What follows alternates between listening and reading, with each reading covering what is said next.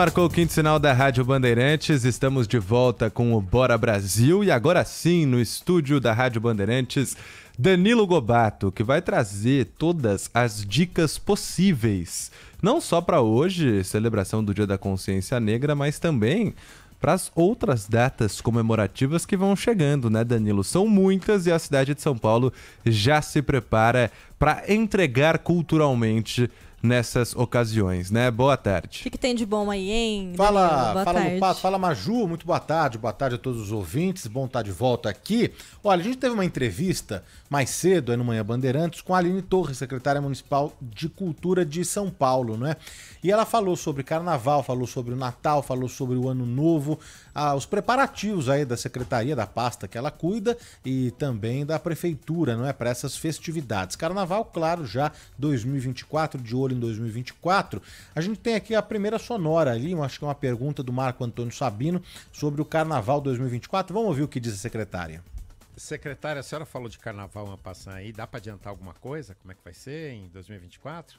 Esse ano teremos carnaval, né? Carnaval que não acaba, graças a Deus. Esse ano o contrato da Liga das Escolas de Samba, da UESP, da BASP, que são as que é o carnaval que acontece no Sambódromo e na rua, né, ali da, da UESP, ele veio para a Secretaria de Cultura pela primeira vez. Então a gente está muito feliz. Acabamos de assinar esse contrato, tem pouquíssimos dias, é, em parceria com a UESP, com a, com a UESP com a Liga, que é o presidente Sidney e o presidente Tomate. Então a gente está com, começando a colocar o carnaval na cidade num lugar cultural. E antes ele estava ali dentro de um lugar turístico, que é também, mas carnaval é cultura, né? Bom, tá aí a fala da secretária sobre carnaval, né? Vale lembrar que a capital paulista terá aí oito dias de folia e já são 676 blocos inscritos para o carnaval de 2024. Tem o pré-carnaval de 3 a 4 de fevereiro, o carnaval 10, 11, 12 e 13 de fevereiro e o pós-carnaval 17 e 18 é folia que não acaba mais. Então a secretária passando um pouquinho aí dos preparativos para o carnaval 2024. Temos também a fala de Aline Torres, secretária municipal de Cultura de São Paulo, sobre o Natal. A gente sabe que são várias as ações na cidade de São Paulo. Natal, tem Natal iluminado, tem a, as árvores, tem a iluminação, que, que a cidade fica muito bonita, né, Maju? Vamos ouvir aqui o que diz a secretária sobre o Natal desse ano antes do Réveillon, a gente tem uma programação conjunta com a Secretaria de Turismo, com o secretário Rodolfo Marinho, que são as vilas de Natal e as paradas de Natal. Então, a gente fez uma. monta uma programação que daqui a pouquinho a gente vai divulgar mas máximo uma semana tá redondinha para a gente divulgar, que são dessas vilas de Natal que são pistas de gelo é, de patinação de gelo, só que dessa vez a gente vai descentralizar isso também e vai levar para a periferia. No ano passado a gente fez, o secretário Rodolfo colocou uma no centro, foi muito legal, que foi o primeiro para entender, e nós fizemos as paradas de Natal nas periferias. Então esse ano nós vamos juntar tudo, fazer programação em quatro cantos da cidade, com show também. E legal é que a gente junta orquestra com MC de funk, música natalina com MC de funk, porque a ideia não é fazer com que é, tenha um olhar do tipo tipo, ah, você vai levar para periferia, você só pode levar. É, você quer meio que doutrinar a galera, vou levar orquestra, vou levar música clássica. Não. Você pode apresentar as classes, né? Você pode apresentar culturas de maneiras diferentes e trazer as pessoas para isso. Isso é formação de público também. Bom, já falamos sobre o Carnaval 2024, falamos sobre o Natal e o Vitor Lupato perguntou sobre o que ele mais gosta, que é o Réveillon, né? A gosta, gente sabe, viu? eu sei que você gosta, é da, da, da folia, né, do, do Réveillon, mas eu sei que você gosta do Réveillon na praia. Mas do de São Paulo também tem muitas atrações. O Réveillon tradicional aqui em São Paulo é na Avenida Paulista, que recebe ali mais de 2 milhões uh, de, de pessoas, de visitantes, né, de todos os lugares para acompanhar a tradicional queima de fogos e também os shows. Né? Mas a secretária falou, a Aline Torres, sobre a disputa das atrações dos artistas, dos cantores para esse fim de ano que a agenda é apertada e são muitas as capitais também que correm ali atrás de boas atrações. Vamos ouvir o que disse a secretária Aline Torres prefeito vai divulgar o Natal e o Réveillon juntos. É, acho que agora 25, esse mês agora de novembro ele já divulga, então ah, tá, tá saindo do forno, a gente está terminando de fechar os contratos com todos os artistas, porque cada vez mais concorrido, né? Cada vez mais cidades. Salvador faz quatro dias de, de virada de ano. Enfim, é difícil fechar artista para São Paulo. Mas a gente está aí reequilibrando e trazendo também bons shows para a população da cidade de São Paulo, porque a gente tem ali 2 milhões de pessoas na Avenida Paulista no circulante, né? E no ano passado a gente também fez uma operação é, de segurança muito bacana, então a estrutura foi bem feita, a gente colocou revistas. No mesmo esquema que a gente fez no aniversário de São Paulo, a gente equalizou para o Réveillon para todo mundo poder curtir a virada de ano seguramente. Alfa. Bom, tá aí a secretária Aline Torres, que participou do Manhã Bandeirantes com Marco Antônio Sabino e Vitor Lupato, secretária municipal de Cultura de São Paulo, falando sobre Carnaval, Natal, Ano Novo, tudo que a secretaria, a pasta que ela cuida, tá tocando aí, realizando, né?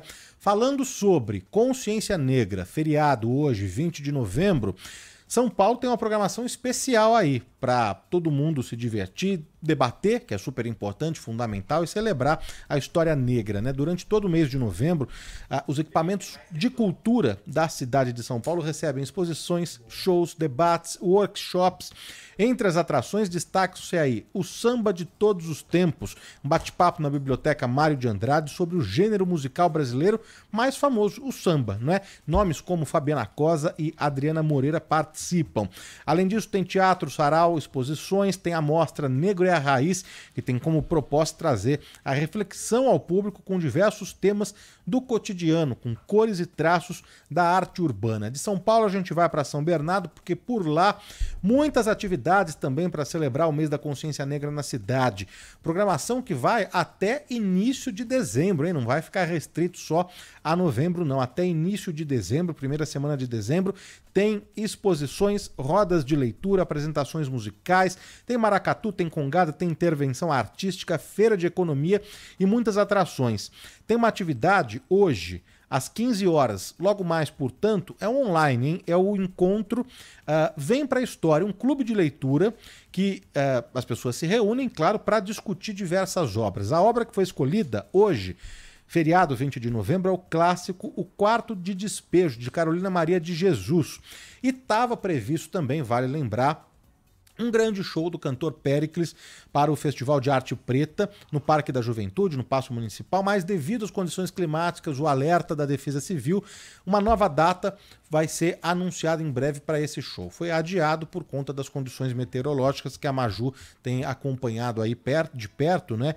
E, e alertado também aqui os ouvintes. Então, tá aí a programação de São Bernardo. Em Diadema, que zomba Festa da Raça, chega a 22 segunda edição, tem atividades também durante todo o mês de novembro em todos os bairros da cidade, todos os bairros de Diadema serão contemplados aí e tem o tema esse ano: ancestralidade, respeito e resistência. Tem programação para teatro, cinema, lançamento de livro, contação de história e atividades para toda a família. No dia de hoje, assim como em São Bernardo, estava previsto um show do Chico César, mas de novo por conta das condições meteorológicas, chuvas, tempestades, ventos fortes, o show do Chico César foi adiado.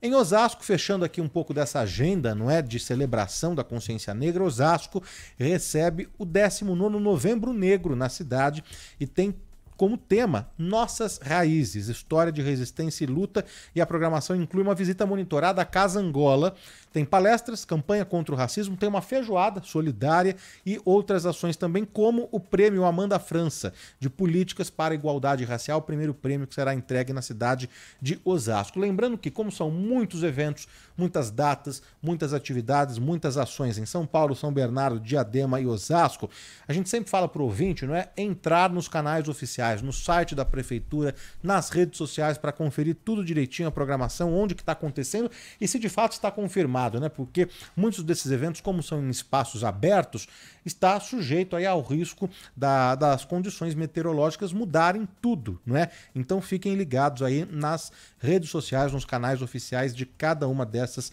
cidades da prefeitura. Então tá aí uma agenda, uma passada aí por tudo que está rolando nessa celebração da consciência negra Maju e Lupato. Data que marca, né, Danilo Lupato, a morte de Zumbi do Palmares, líder do quilombo, do quilombo dos Palmares, símbolo da resistência negra na luta contra a escravidão, uma data muito importante para a gente pensar na representatividade negra da nossa sociedade, e o feriado que não são em todos os estados, né? Alagoas, Amazonas, Amapá, Mato Grosso, Rio de Janeiro e São Paulo, com feriado hoje, segunda-feira, dia da consciência negra. Agora